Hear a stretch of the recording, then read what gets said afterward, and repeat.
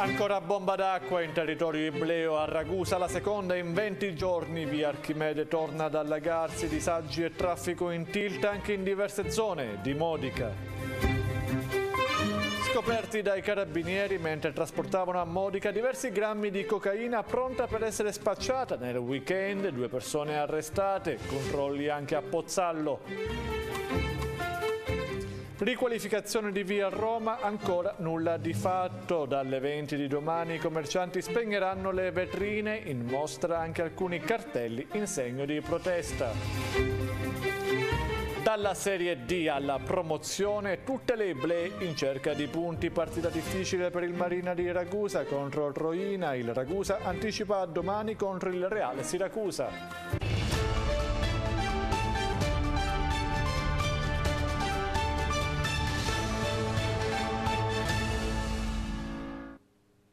Salve a tutti e ben trovati con l'informazione di TG74. Apriamo il telegiornale mostrandovi le immagini dell'intensa bomba d'acqua che si è abbattuta ieri soprattutto a Ragusa e a Modica. Danni e disagi prontamente affrontati dai vigili del fuoco, dalla polizia locale e dalla protezione civile. A Ragusa torna ad allagarsi via Archimede. Guardate.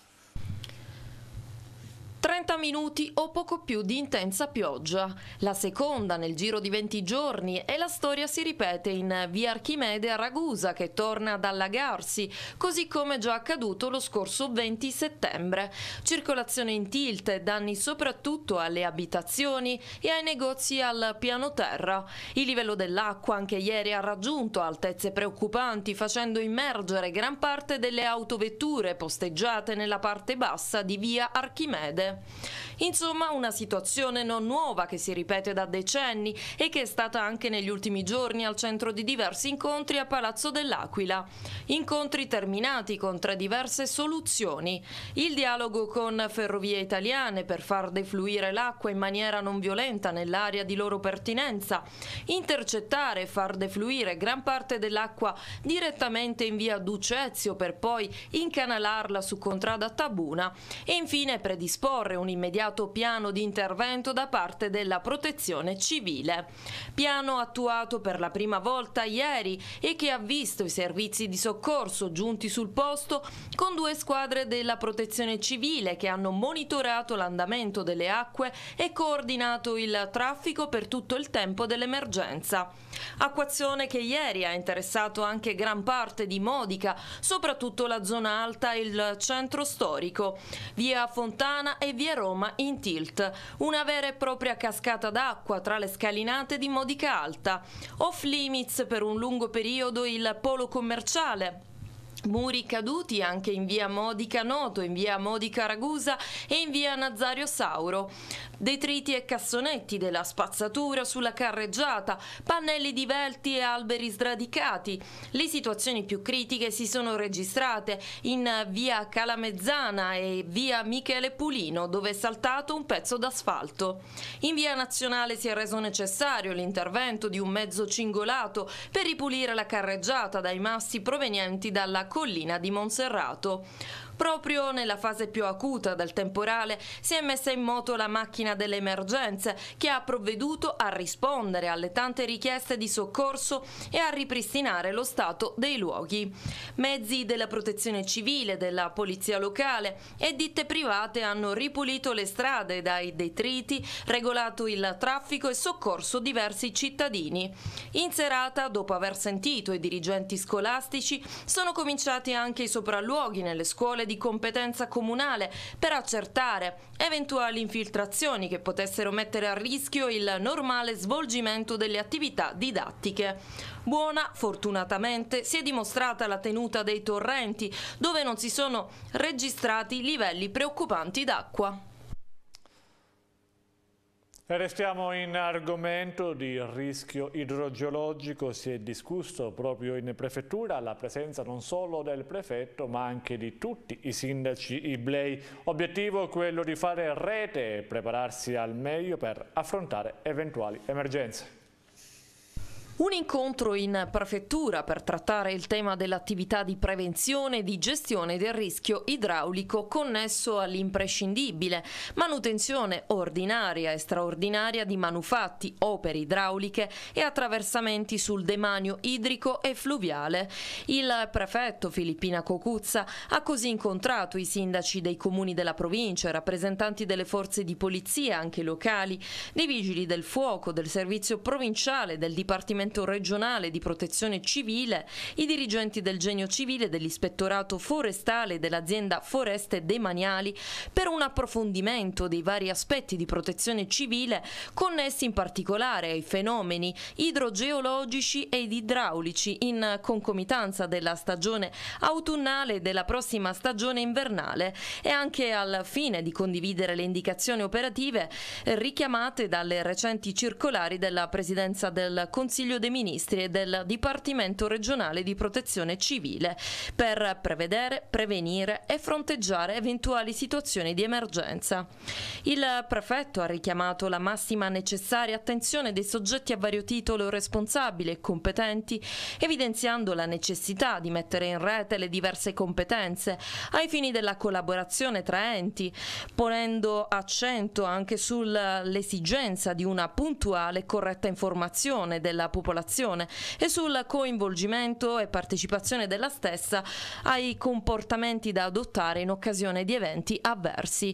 Inoltre ha auspicato che gli attori interessati e in primo luogo i sindaci adottino modelli il più possibile omogenei e compatibili, anche in considerazione della contiguità territoriale e delle inevitabili interazioni dei fenomeni tra territori limitrofi, proponendo a questo fine l'avvio di un tavolo di confronto operativo in prefettura che favorisca la conoscenza e la reiterazione di buone prassi positivamente sperimentate in alcuni territori e l'armonizzazione della modalità di comunicazione anche alla cittadinanza.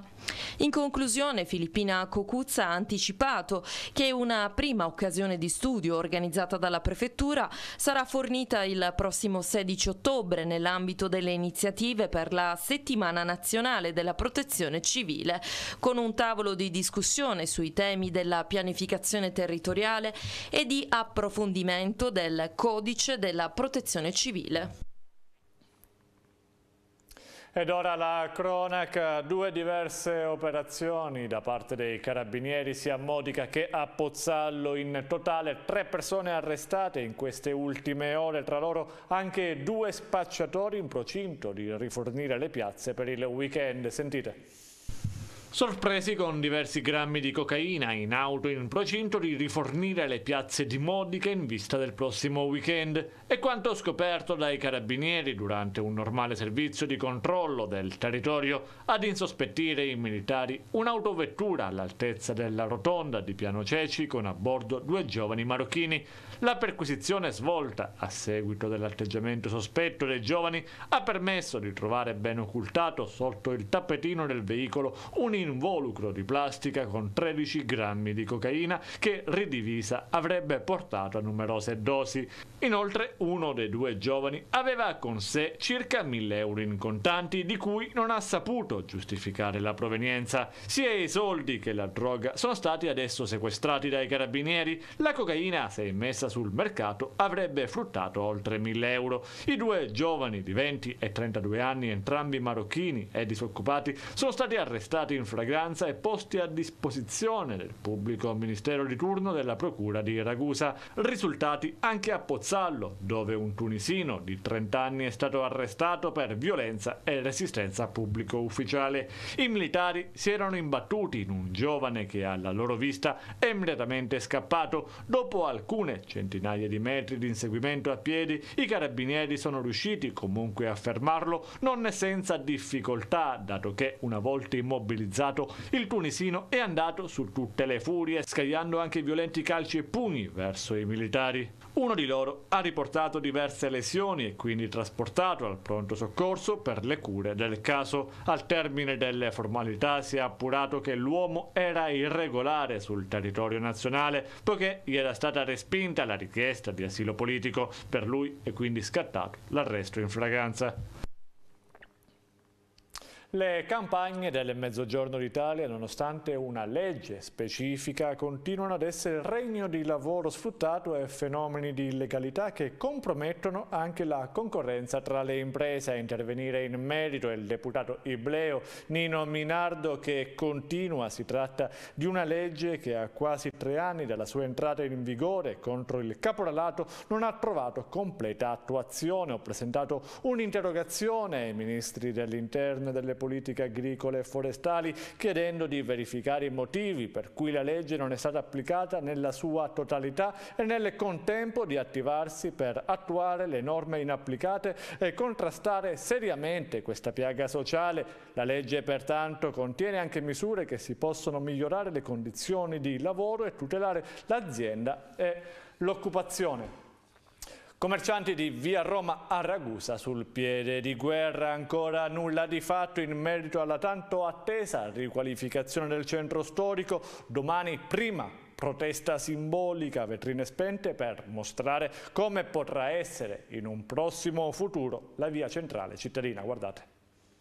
A Ragusa, commercianti di via Roma sul piede di guerra, dopo anni di riunioni con le amministrazioni che si sono succedute in cui si è ampiamente discusso di problematiche e soluzioni per una riqualificazione del centro storico, non avendo a oggi riscontrato nessuna azione concreta, in attesa che tali azioni di riqualificazione a medio e lungo termine vengano attuate, onde evitare la chiusura di altri esercizi commerciali, i commercianti del centro storico di Ragusa Ragusa Superiore chiedono come misura d'urgenza la riapertura del tratto di via Roma a traffico limitato ZTL. Non avendo ricevuto ad oggi risposta, decidono di sensibilizzare l'amministrazione con una protesta volta a far vedere come sarà il salotto buono della città in un futuro prossimo se non verranno attuate con urgenza quelle politiche di riqualificazione di cui tanto si è discusso a partire partire dalle 20 di domani i commercianti spegneranno le luci dei negozi e chiuderanno le proprie attività esponendo nelle vetrine messaggi di disagio fino a quando non riceveranno dall'amministrazione risposte concrete. E quanto stabilito proprio in queste ultime ore un segnale forte che mira a concentrare su via Roma le attenzioni dell'amministrazione comunale da tempo infatti si ragiona su come riqualificare il centro storico di Ragusa, non solo una questione di ripopolamento ma anche di passeggio cittadino sempre più carente in quello che una volta era il salotto buono della città. Quello di Via Roma è sempre stato un argomento scottante per qualsiasi sindaco, adesso qualche iniziativa di cambiamento stava per registrarsi ma tutto è terminato nel dimenticatoio dopo gli incontri e l'ampio dibattito che ha caratterizzato caratterizzato non solo la campagna elettorale ma i giorni a ridosso dell'estate, nulla poi è stato fatto da parte dell'attuale amministrazione comunale. Domani quindi il primo segnale di un malcontento comune da parte dei commercianti, almeno quelli che ancora resistono. I dipendenti comunali a Modica attendono ancora la mensilità di agosto. Ieri un incontro tra l'amministrazione e la CISL Funzione Pubblica ottenute delle rassicurazioni ma quello che manca, sostiene il sindacato, è un impegno puntuale. Ancora un momento di confronto tra il sindaco di Modica Ignazio Abbate e una delegazione della CISL FP formata dal segretario generale Daniele Passanisi e dal segretario territoriale Sandra Farruggio, oltre ai componenti del direttivo aziendale, per quanto riguarda il pagamento degli arretrati ai dipendenti comunali.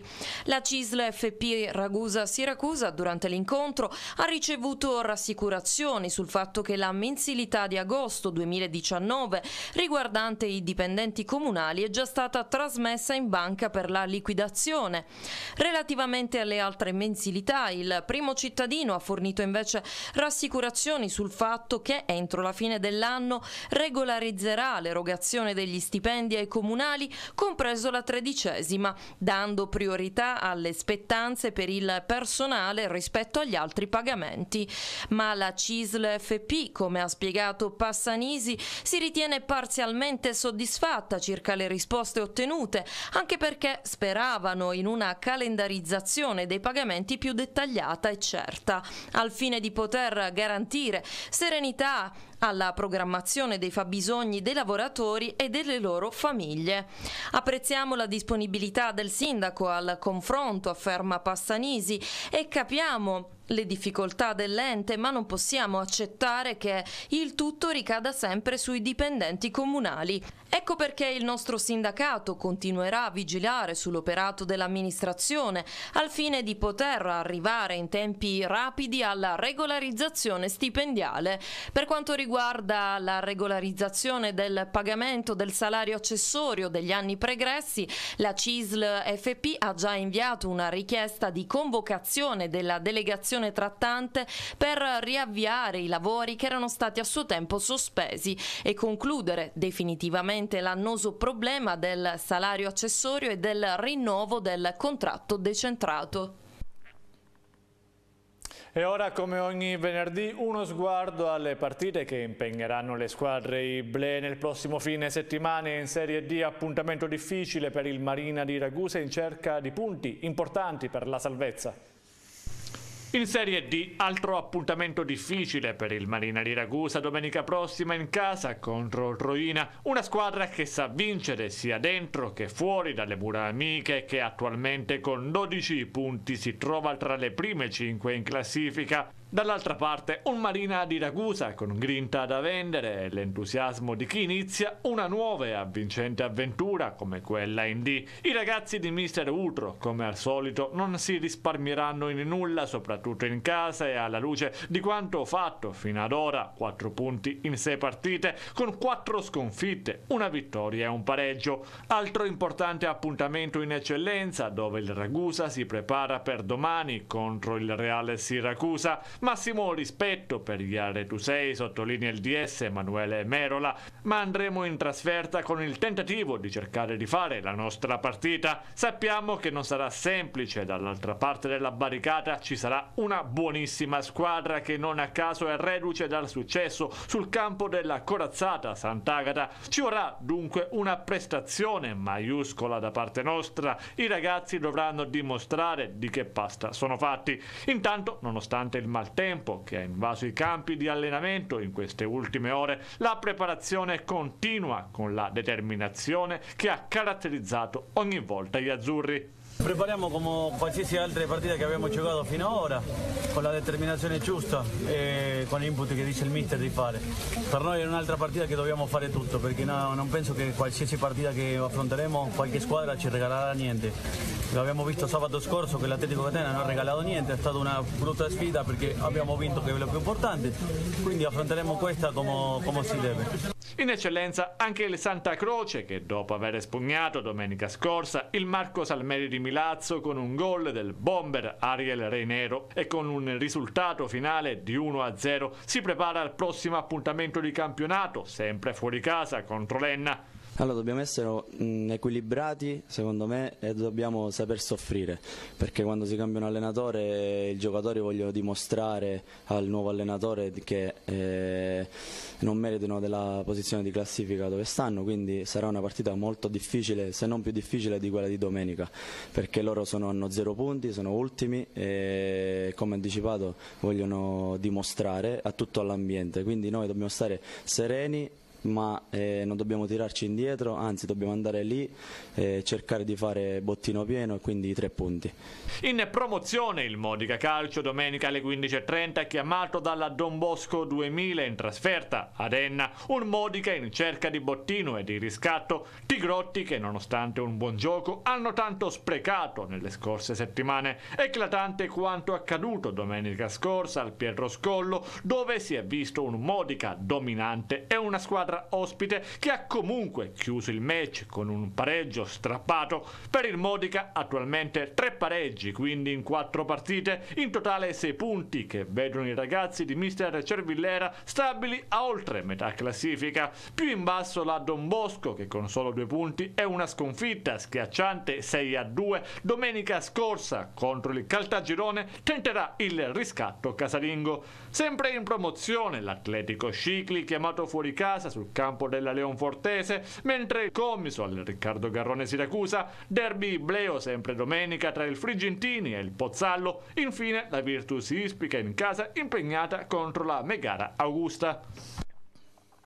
E ancora prima di chiudere un'altra notizia, il vescovo Monsignor Carmelo Cuttitta ha nominato Monsignor Salvatore Burrafato direttore della Biblioteca Diocesana. Succede a Don Giuseppe Di Corrado, cui si deve l'organizzazione di importanti iniziative che hanno confermato la centralità alla Biblioteca Diocesana nel panorama culturale ibleo. Oggi la biblioteca custodisce oltre 50.000 volumi, tra cui 5 manoscritti sulla storia di Ragusa, 354 44 opere risalenti al 1600, 900 risalenti al 1700 e circa 1000 al 1800. Diverse opere significative nelle varie discipline teologiche rappresentano un valido supporto didattico per gli studenti di teologia. Bene, questo è tutto, non ci sono aggiornamenti, quindi l'appuntamento è con le prossime edizioni. Grazie e arrivederci.